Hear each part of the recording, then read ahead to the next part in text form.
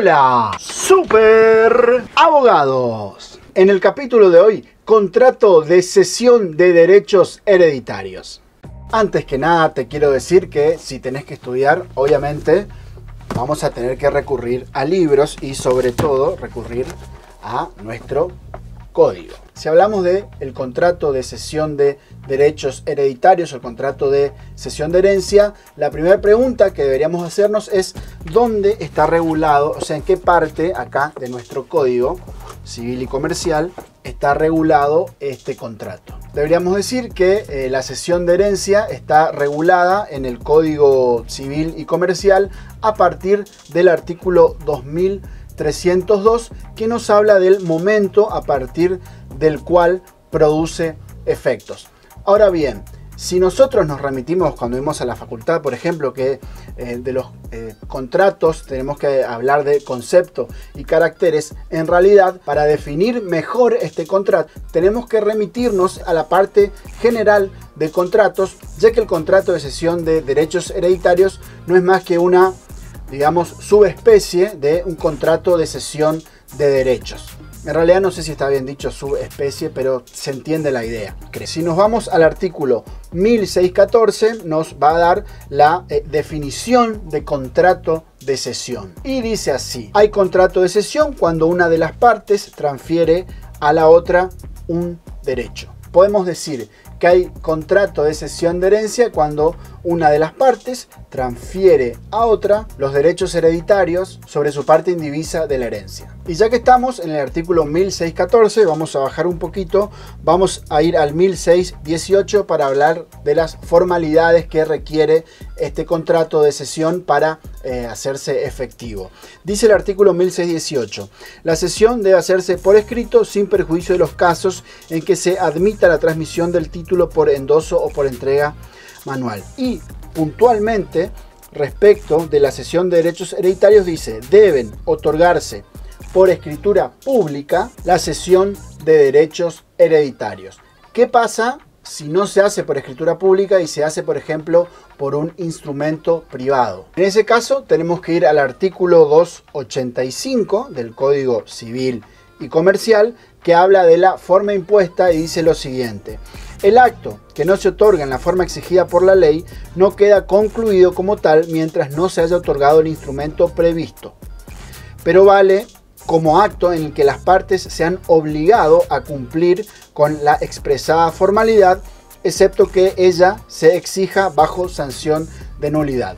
Como bien vimos en el artículo 1618, donde establece eh, la forma que debe tener la sesión de derechos hereditarios, la formalidad, mejor dicho, que tiene que ser por escritura, ahí dice que eh, no dice que debe otorgarse por escritura pública bajo sanción de nulidad, con lo cual podemos deducir que una sesión hecha por instrumento privado, si bien no cumple los efectos de una sesión de derecho, pero sí cumple la función de ser un instrumento que obliga a realizar el acto correspondiente para que se instrumente esa sesión, es decir, de hacerlo por eh, mediante escritura pública. Entonces, para dejar bien en claro, la sesión de derechos hereditarios solo puede hacerse por escritura pública no se admite otra forma. Otro de los caracteres es el de bilateral, es consensual, la sesión puede ser onerosa, puede ser gratuita, tiene este requisito de la formalidad y es también un contrato aleatorio porque no se transfieren bienes específicamente individualizados, sino un derecho que puede variar en cuanto a su contenido a partir de cuándo y hasta qué momento se pueden ceder estos derechos hereditarios. Y para hablar de esto quiero ser bien gráfico. Los derechos hereditarios se pueden ceder a partir de este momento. Bueno, en realidad es un rato antes porque, como bien establece el código, ahora vamos a ir al artículo, pero como todos sabemos, la eh, sucesión, la apertura de la sucesión está marcada por la muerte del causante. El artículo 2277 nos habla de la apertura de la sucesión y dice, la muerte real o presunta de una persona causa la apertura de su sucesión y la transmisión de su herencia a las personas llamadas a sucederle por testamento o por la ley. Es decir, A partir del momento que el causante muere, ya los herederos tienen un derecho, por lo cual ya pueden efectivamente ceder esos derechos. Y respecto a esto hay que dejar bien en claro que la apertura de la sucesión de la que nos habla acá el código no es lo mismo que la apertura del proceso sucesorio, que es otra cosa, ¿no? Estamos de acuerdo. Como bien sabemos en la práctica, salvo que seas eh, que el causante sea Maradona, la, apertura, la apertura del proceso sucesorio muchas veces tarda, incluso eh, lleva años que no es necesario que esté abierto eh, el proceso del sucesorio para realizar la cesión de derechos hereditarios, pero sí, y ahora lo vamos a ver cuando eh, veamos a partir de cuándo empieza a producir efectos, eh, es importante que eh, esté abierto y que esa escritura por la cual se instrumenta la cesión sea presentada en el sucesorio para así producir efectos respecto de terceros, eso lo vamos a ver un poquito más adelante. ¿Y hasta cuándo se puede ceder? Se puede ceder hasta el momento de la partición de la herencia, que es el acto por el cual, digamos así, los herederos empiezan o culminan, mejor dicho, la repartija de los bienes. Y a partir de ese momento, una, vez que se inscriben estos bienes, después de la partición, ya los herederos no son eh, titulares de un eh, derecho hereditario, sino son titulares de bienes puntuales, con lo cual ahí ya no pueden hacer una cesión de derechos, sino lo que tendrían que hacer en todo caso, si quieren transferir un bien es hacer una venta o una eh, donación porque ellas tienen un derecho real sobre las cosas determinadas. Ahora bien, vamos a hablar de la legitimación, es decir, quiénes están legitimados para ceder, quiénes son los que pueden ceder. Pueden ceder todos los eh, herederos, ya sea eh, herederos eh, intestato o herederos testamentarios, ya sean forzosos o no forzosos, y además también pueden ceder los cesionarios de derechos hereditarios, es decir, se puede hacer una cesión de una cesión, e incluso se podría hacer una sesión de una sesión de una sesión, e incluso también se podría hacer una sesión de una sesión de una sesión de una sesión, y así hasta el infinito. Ya les pedí que se suscriban al canal, bueno, si no se los pedí, por favor, se suscriben y me siguen en mis redes sociales. Hay limitaciones, hay alguien que no puede hacer sesiones de derechos hereditarios. Para saber de esas limitaciones tenemos que ir al artículo 1002 del código. Nos habla de las inhabilidades especiales y nos habla de quienes no pueden contratar.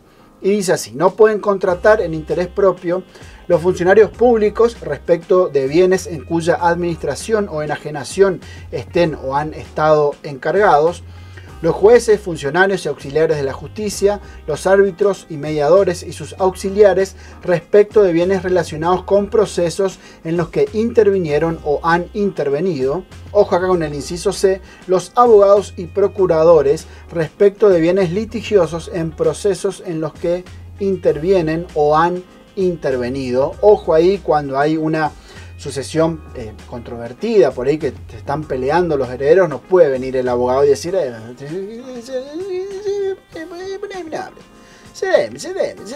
no se puede.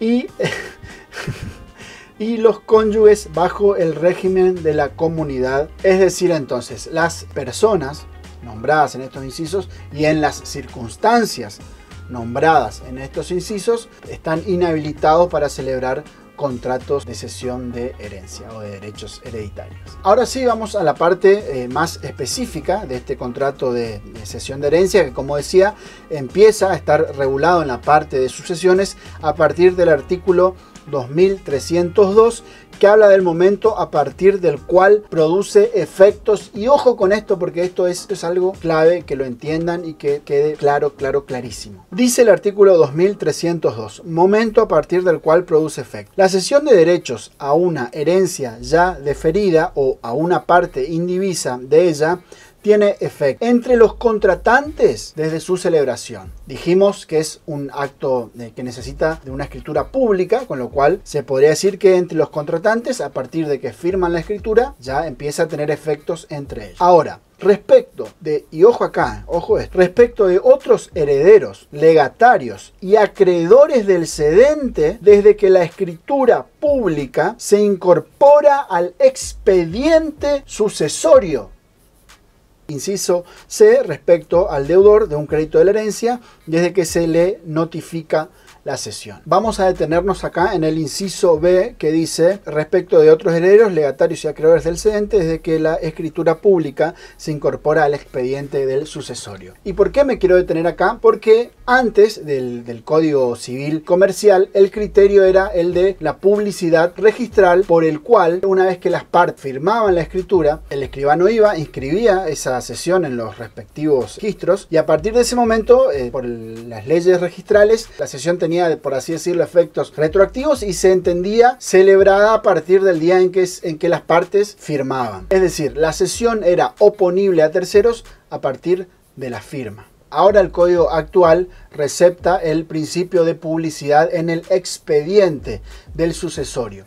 Con lo cual, y vamos acá con un ejemplo práctico para que se entienda bien y que quede claro, esto que me parece a mí que es fundamental. Supongamos que yo soy heredero, tengo cantidad de deudas, en cualquier momento vienen y me van a querer este, embargar. Entonces digo, bueno, voy a ir y voy a hacer una sesión de derechos hereditarios. Voy al escribano, le firmo una sesión a Esteban Diego, le cedo todo y me quedo tranquilo. Digo, bueno, ya está, ya cedí, ya no tengo nada. Yo, argentino, digo, tengo las manos limpias. La pregunta es, ¿pueden embargar mi parte de la herencia si yo voy y ya firmé la escritura? Y la respuesta es sí, sí, te pueden embargar. ¿Por qué te pueden embargar? Porque como bien leímos acá, el inciso B del artículo 2000 302 dice, respecto de otros herederos, legatarios y acreedores del cedente desde que la escritura pública se incorpora al expediente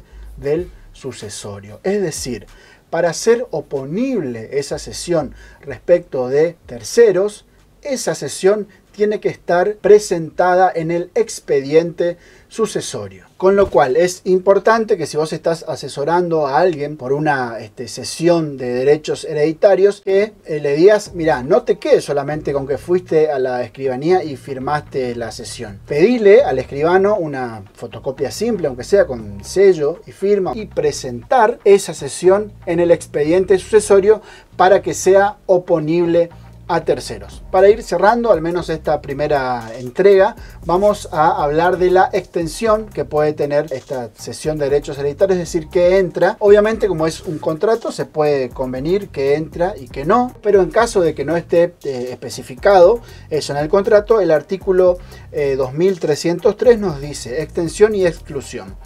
La sesión de herencia comprende las ventajas que pueden resultar ulteriormente por colación, por la renuncia a disposiciones particulares del testamento o por la caducidad de esto. Es decir, beneficia en principio al sesionario, es decir, va a ser parte de esa sesión que recibió si es que la herencia crece, por ejemplo, porque eh, hay una colación, también si crece porque hay alguien que renuncia a un legado o también cuando hay una caducidad de un legado. En estos casos quien se va a ver beneficiado es el sesionario. Y no quedan comprendidos en la sesión de herencia salvo acuerdo en contrario como te decía porque se puede acordar que no sea así lo ha crecido con posterioridad en razón de una causa diversa de las expresadas como la eh, renuncia o la exclusión de un coheredero, es decir, si hay un coheredero que renuncia a su parte, en principio esa parte no le correspondería al sesionario. También lo eh, ha crecido anteriormente por una causa desconocida al tiempo de la sesión y obviamente tampoco en principio se ceden los eh, derechos sobre sepulcros, documentos privados del causante,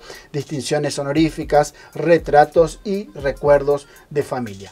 Por ejemplo, cuando yo tenga mi placa de YouTube de un millón de suscriptores y me muera y mis hijas sean de sus derechos hereditarios, esa placa no le va a corresponder al sesionario. Pero es importante para que yo llegue a esa placa de millón de suscriptores que vos también seas parte de ese millón. Así que suscríbete al canal, seguime en las redes sociales. Hasta la próxima, no sin antes pedirte que te quedes viendo estos videos que yo te aseguro que te van a cambiar la vida. ¿Se imaginan un sin super abogados? Yo no.